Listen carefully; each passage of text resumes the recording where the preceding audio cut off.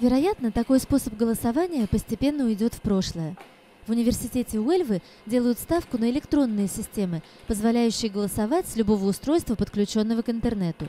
Новая система имеет низкую себестоимость и высокую надежность.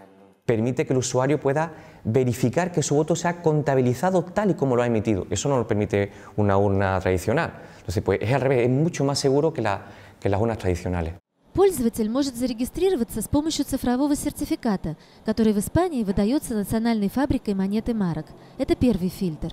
Y después hay un procedimiento que se llama firma ciega, que, no- que lo que hace es que una autoridad te firma una clave, un alias que el, el usuario ha generado.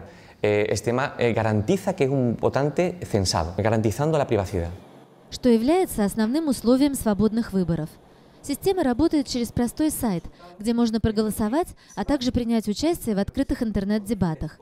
Система не требует мощных серверов и потому стоит дешевле, чем обычное голосование с урнами и бюллетенями.